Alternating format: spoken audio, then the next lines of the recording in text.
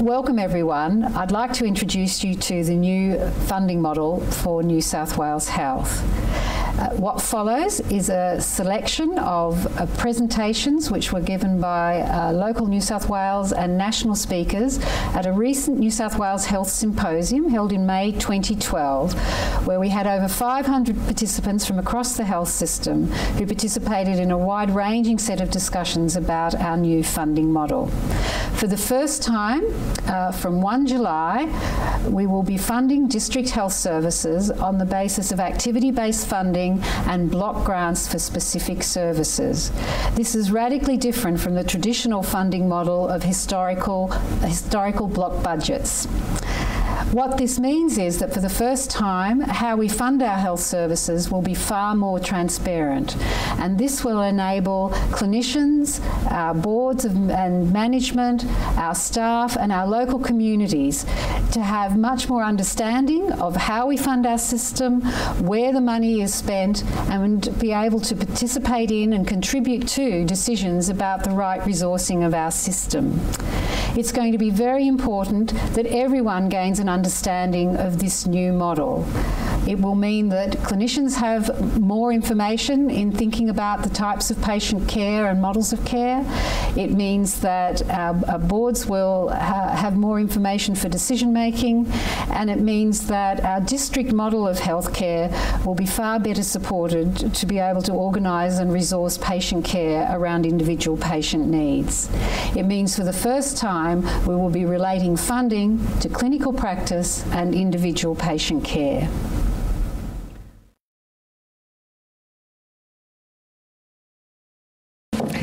Thank you very much indeed, Rowan. I too wish to acknowledge the traditional owners of the land, pay my respect to elders past and present, and particularly any who are with us here today. Director General, distinguished guests, everyone. Um, it's wonderful to see you here. There is one overriding consideration for every resident of New South Wales. They ask, can I get health treatment or health care when I need it. That's, a, that's the way I started a speech 10 years ago, and it hasn't really changed. This is an important consideration for everyone. It's for patients, their family and carers, uh, but it's also for clinicians and all involved in delivering healthcare. It's why I have placed such importance on devolution of responsibility for that treatment to be as close as possible to those who receive it and in the hands of those who will deliver it. I believe that the closer we move decisions to local areas, the more we involve clinicians in decisions, the more we make our health system flexible and responsive, the better decisions we make, the better we serve the people of New South Wales. In health, we know that we, are const we constantly have to adapt our system to face a rapidly changing and ever more costly world of medicine, treatments, and medical technologies. To keep pace with progress in healthcare, we must also progress ourselves. We must continue to reform the way we work to meet changing needs and demands. Over the last year, as part of the O'Farrell government's focus on strengthening the health system to respond to what our community wants, what wants and what we know creates good health outcomes, we've done several things. We have changed from a centralised department to a more strategic ministry. The next step is to reform how we fund the system and make the activities that are delivered to patients at the community level a key element and predictor of budget. This begins to happen from July the 1st. Reform, reform, reforming funding is the next element in delivering healthcare that is more centred around patients and a health system that is more open to outside scrutiny. As a state, we want to continue to lead change rather than follow. We want to drive strongly towards a more effective health and hospital system, not wait for others. We're working collaboratively with the Commonwealth. Uh, there's still much work to be done, but for New South Wales, we must continue to take the lead. For New South Wales, making funding reform work is a key part of how we lead our own system towards better health outcomes. Funding reform lets us shape a hospital system that needs constant refreshing and new directions. The one certainty about health is that new science and medicine emerges every day and that we need to keep changing fast just to maintain our edge. And as the Minister for Medical Research, going around the institutes, talking to the researchers, talking to the clinicians that are engaged in that transitional research, it's just mind blowing. It's inspiring. But we need to make room in our budget to adopt these new treatments. For the people of New South Wales, knowing that their health system and their hospitals are constantly responding to change is reassuring. It means they know they have a system that is moving forward, improving, adapting, continually striving to meet their needs. Funding reform is a next step in our quest for a better health system. It will not be the fast change we make, the last change we make. Rather, it is another practical move forward that will make our hospitals as effective as they can be. As long as we keep setting the pace of positive change directed to opening and freeing up the New South Wales system, health system, we can all be confident that patients and consumers will remain at the heart of our efforts and at the centre of why we make decisions. That's the key to the change that starts on July 1. All of us here are part of that change, and I trust that you will all join me in embracing the opportunities that arise from the funding reforms so that we will be able to answer yes when that consumer asks us the question, will there be the right treatment, the right health care at the right hospital available to me when I need it? Thank you. I look forward to joining you in this new reform. Thank you.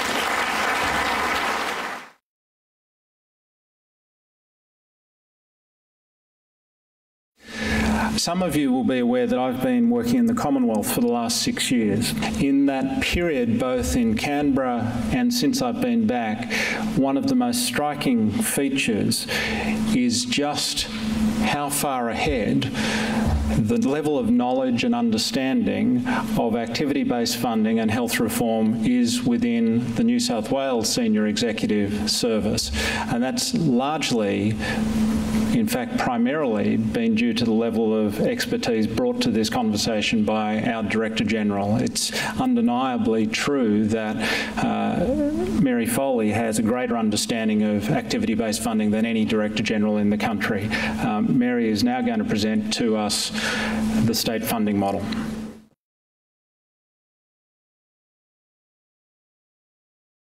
Critically, uh, activity-based funder is a major reform driver for better patient care. Globally, prospective case payment, which is a more generic term for what in this country we're calling activity-based funding, it's had lots of different names, um, is used to fund hospitals in, in over 20 countries or 70% of the uh, OECD. And, the most, and, and, often it gets talked about that it's all about efficiency, and it's not really. Um, uh, yes, uh, uh, whether we're doing things efficiently in terms of cost, cost um, is, is an element uh, that, that, that, this drives when you compare the performance of, of different uh, hospitals or, or, services. But the most critical thing about it and why it's very, very, very key to, to what we need to achieve in, in, in our devolved uh, uh, model is, uh, is that it gives the transparency which, which enables local planning and decision making, as well as the transparency that allows, uh, from a whole of state point of view, to, to actually work out where we're going with our health system. Uh, are we getting it right? What are the gaps? Um, uh, what are the access issues? Have we got the right models of care? We've got two levels of reform happening here. Um, the Minister has talked about the, the, the, state government's commitment to a devolved uh, model of care, of, of local decision making with strong clinician and community engagement. This is a theme of health reform globally. If we're going to organise care properly around the patient, uh, the models of care need to be localised around the patient. They need to be flexible and they need to be able to join the dots and connect up care across a range of providers and a range of settings. Uh, transparency is absolutely key to being able to support that local decision making. Uh, and, and as well, in terms of our state government um, model, we have to work within state budget parameters. The federal government, in, in the process of the, of the arrangements, is, it's their job to put in place the, the various nat national structures uh, that are going to be part of this arrangement. They uh, are also now going to put their, their Medicare grant, as I still uh, call it, that's what it used to be called, and, and then it became the AHCAs, the Australian Healthcare Funding Agreements. Um, but they're putting that amount that they always um, paid to the states in respect of offering free public hospital treatment, a contribution to state systems, which was negotiated every five years between premiers and uh, uh prime ministers and treasurers.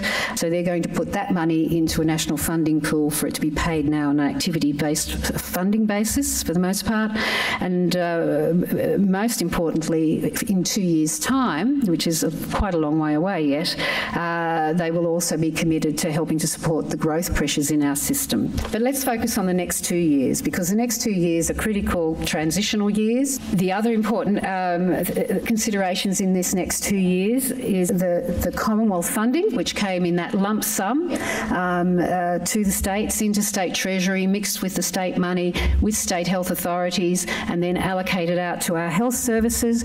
That special purpose payment uh, will now um, will now be paid uh, through a national pool, largely in the form of activity-based funding. But it's important to emphasise that there is there is no additional growth uh, in those Commonwealth contributions for the next two years. That's a capped amount of money. We know what it's going to be. It, it, it, it's um, in the Commonwealth budget for next year and the forward estimates for the for the year after that. Uh, the Commonwealth price that they'll be paying, uh, or share of the price they'll be paying, will be determined by dividing the special purpose payment by the volumes of service in our state. So in this state, the special purpose payment funds about 34% of the cost of our local health district and network services. So, so the the Commonwealth share of the, of the unit cost of delivering a patient episode in our service will, will, will come out at about 34%. So that's the underlying contribution the Commonwealth makes to uh, our health system, and that will now, most of it, morph into uh, an activity-based funding model. And that's the component that will be paid for the next two years through the national pool. The other challenges that we have to consider in these next two years is we also have a number of national partnership agreements that have been developed over the last few years years with the Commonwealth, and that has led to significant funding uh, initiatives which we've benefited from. And, and for the next two years, the volume pressures on the system will, will need to be met by state governments from, from their resources. So, so it's quite a, we're looking at quite a tight budgetary environment for the next two years.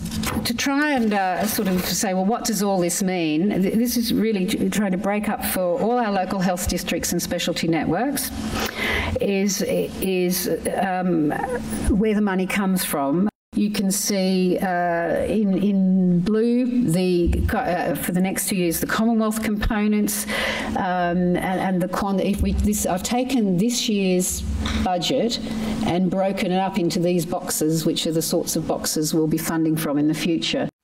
In terms of grappling with this whole concept about price, it's really important to understand that the pricing of services will operate at three levels. There's the national efficient price, which is what IHPA is all about. It's, IHPA is independent and uh, sets the national price. Uh, essentially, the national price determines the Commonwealth contribution because under the agreement from 1415, the Commonwealth is on the hook to pay um, a, a, a, a given share of that national efficient price wherever that lands, and that price will be a blend of the pricing all around the country. Then there's also, and more probably more importantly from in terms of what the district receives, there is, is the state price and the state funding model because it's the overall state pricing that will deter and funding model that will determine what each local health district receives and then the national efficient price contribution from the Commonwealth will be a subset of that. And then thirdly, there'll be uh, local health district or network pricing because each each health service will have to organise how to allocate its funds. It will need to allocate out of those funds funds to overheads. It will then need to work out how it will fund each of its constituent um, hospitals and, and, and other services. Our key priority during the next two transition years is to keep the system safe and operating while we're introducing some critical new funding drivers. So we'll ha have a, a, cautious and evolving approach to, to, to the model, um, that we will be using transition grants to um, support those local health districts whose, whose cost of operation um, uh, is currently above where it would otherwise be if you, if you priced it according to, to the, the new transparent funding model. And initially, those local health districts that operate at or below the efficient price will be funded at their current efficient rate. So, uh, and our state pricing structure, we'll, we'll adopt the IHPA design. You, you, we don't want to have one national design and then a different state design. This is complex enough without creating confusion. At the moment, in IHPA's draft determination, they're proposing loadings for specialist paediatric uh, hospital services, Indigenous patients, and services provided to patients from outer regional or remote locations. So we'll in incorporate those uh, in our design. Uh, previously, when we've had shadow state models, we've had peer hospitals and some other adjustments. We're not going to do that. We will align with the, the national model. So that's it. And, uh, um, and I'm sorry if I've crowded the next speaker's time. We'll work something out. Thank you.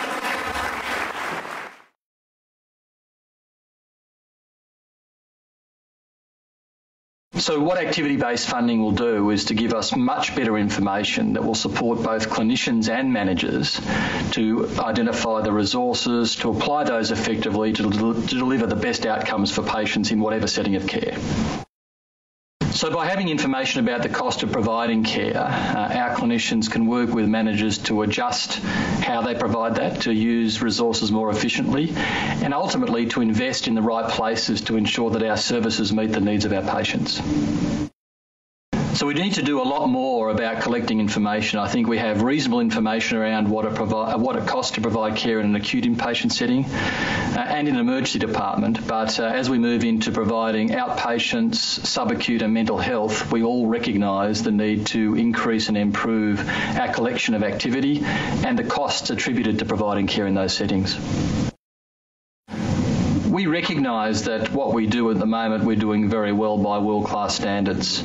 Um, but what this information will enable us to do is to start to think about how we can provide care in different ways and move the system from being focused on inpatients and inpatient care to care in the community, outpatients, in subacute services and mental health. And I think those shifts and that direction is one that we all recognise as important if we're going to manage the demands on the system in the future.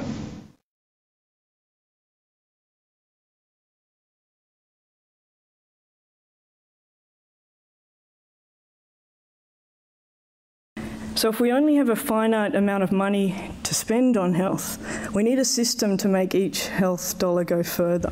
So, if we were to design an ideal system, we'd want it to be patient centred, we'd want it to cost less, we'd do that through driving efficiency but we'd also want it to be focused on best clinical practice. And potentially, the exciting thing about activity based funding is if this is implemented correctly, it has the potential to meet all these needs. So, the next question I often get asked is Doesn't cheaper care mean worse outcomes for patients? And you'll probably be aware of the evidence that's been coming out of uh, the United States with the Intermountain Group that's been published over the last couple of years that really shows that you can improve quality outcomes and they can actually cost less. So, if we think of activity based funding and where the clinicians fit in, to simplify this, how does this actually work? So, we provide a service to the patient, we document this in the medical record, and as you know, this is usually done by the most junior members of the clinical staff. The medical records are then coded. That information is classified into a diagnosis related group. And through a complex series of systems that I don't begin to understand, that information is sent back to the government. And the local health district is then funded for that activity with a few other variables, including efficiency, costed in. Importantly, that data, though, is then used to generate performance reports, and that's fed back to clinicians. And that data, if correct, can be used to drive efficiency and then help with resource allocation. So, understanding that process, where do the clinicians then fit in? Clinicians are obviously service providers.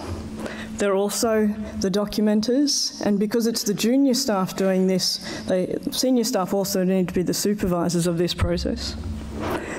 Now there's more communication required with coding staff, and so communication channels needed to be opened up there.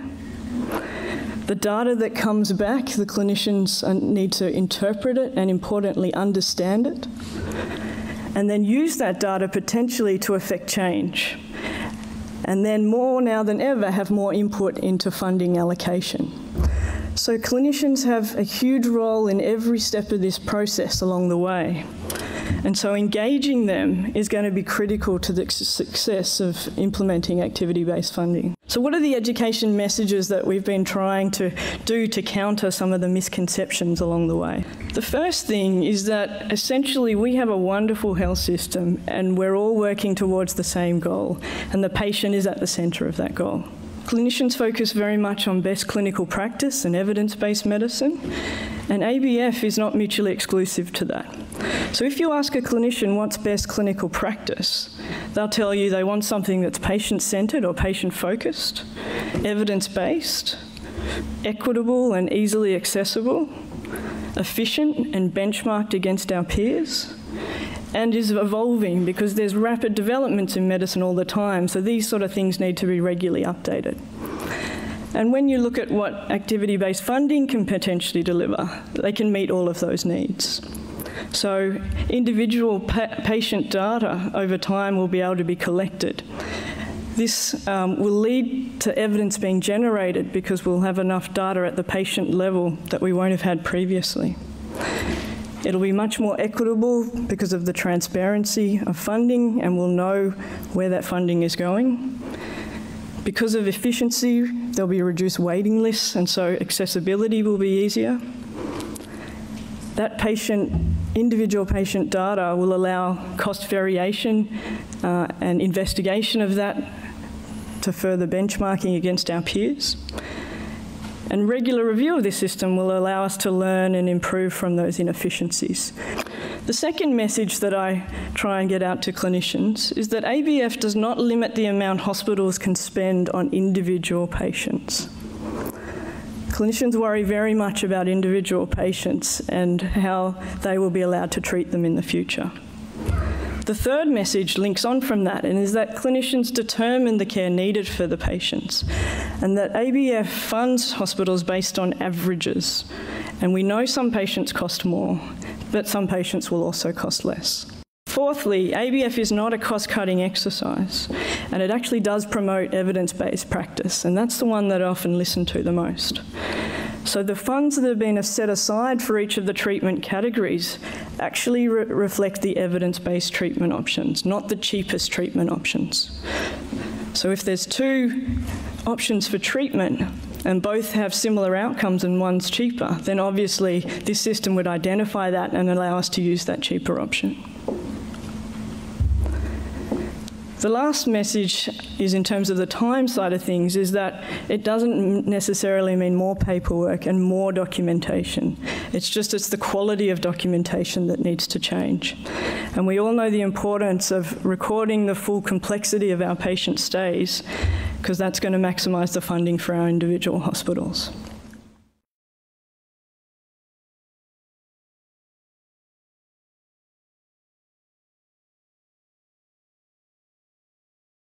Well, I imagine that the benefits for clinicians are that it could drive some improvements in the way that they practice because they'll have better data um, that enables them to compare their practice uh, nationally, um, but also that if there's incentives uh, to drive quality practice, then I imagine it will be much more rewarding for clinicians to practice in a system that is giving them rewards to deal with more complex cases rather than focusing on throughput and efficiency because ultimately most clinicians want to see consumers get the best possible healthcare outcomes and really that's the potential we want to see achieved here.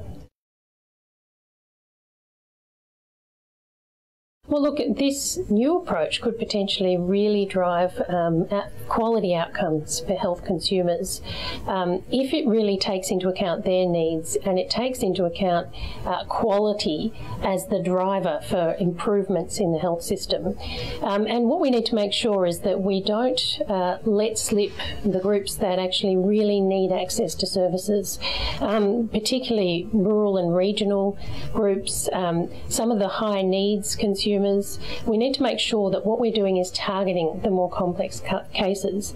So, for instance, it might be easier uh, to treat a 35 year old with an appendectomy in a city hospital versus a 35 year old schizophrenia patient uh, in a regional hospital. Um, but we don't want perverse incentives that mean that uh, the 35 year old with schizophrenia misses out on services. It's critical um, that we're meeting the needs of um, a whole range of consumers, particularly those who don't always get um, the best care or access to care in the Australian health system now. Well, I suppose in the Australian health system at the moment, um, we really are focused on throughput and efficiency. Um, I think one of the really key challenges for the uh, the ABF is to ensure that um, we're driving quality outcomes in healthcare. And I'd imagine that for clinicians, um, that's a very rewarding situation to be in if the quality of care is incentivised and if they're able to um, see uh, greater benefits from treating more complex cases in the health system. And also, I think some penalties or sanctions for poor practice, such as when people um, are given the wrong medication, for instance, or when they acquire a hospital infection. I think these are the sorts sorts of things that uh, the ABF has the potential to improve quality of healthcare and ultimately for clinicians and for consumers who use the system. Um, this is uh, the real outcome that this um, new health reform can deliver.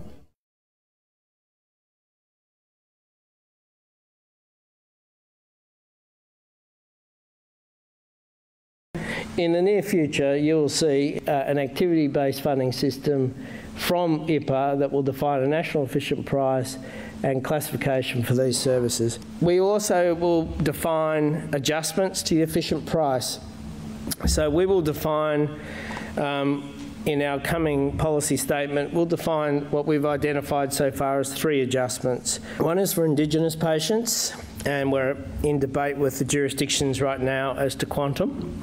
But there is statistically a very definite difference between indigeneity, um, the Indigenous status of patients and their costs. Unfortunately for New South Wales, uh, there's not a lot of gain in the next uh, loading, which is remote residents. In fact, it's outer regional, remote and very remote um, residents, according to the uh, Australian government, uh, Australian Geogra Geographic Classification System. Um, uh, we've found that people who live in outer regional, remote or very remote Australia do have a definite cost uh, differential to those who live elsewhere in Australia. We've also found across the country, interestingly, every jurisdiction that is implementing an ABF program has struggled with their um, specialist paediatric hospitals and what to do about them. Um, it's interesting, across the nation, there is a definite difference in some DRGs between specialist paediatric hospitals and um, general hospitals that provide paediatric care. Statistically different uh, cost differential, which we'll recognise in terms of a loading, but it'll only be for some DRGs, and we'll publish which DRGs, obviously. We'll be publishing our specifications um, in our determination. They'll largely be a reference to existing specifications, so there won't be anything revelatory in that announcement. We'll also be publishing our block funding criteria. We also have the terrible, burdensome duty. I spent all last night wrestling with a document which I've been wrestling with for six months on defining what is a public hospital service. So we will publish in the near future a description of what is a public hospital service in Australia. It won't be campus based, so services that reach out into the community will be included, and it won't be um, uh, restricted to provider. There are some services in this state and others that are provided by private organisations on behalf of public hospitals. So it'll be service based and it'll be uh, related to um, uh, a set of principles which we'll publish. The reason that's important is that services that are defined as public hospital services qualify for Commonwealth funding, and services that don't um, don't qualify for Commonwealth funding under this agreement. There are other agreements, but not this agreement. And we'll also publish our dispute determinations and assessments when we get them. Thank you for taking the time to view this important information. I hope you found it of assistance. I'd like to thank all of you for the excellent work you do in caring for our community. I'd also like to thank all of those who participated and presented in the New South Wales Health Symposium on the funding model. The discussion uh, has greatly assisted us in communicating about uh, these important changes and in enabling us to share this with you. I'd like to also suggest that you go to the New South Wales Health website if you need more information. We have a range of material and resources there that will be of further assistance. And I look forward over the next 12 months to working with you all in implementing our new funding model.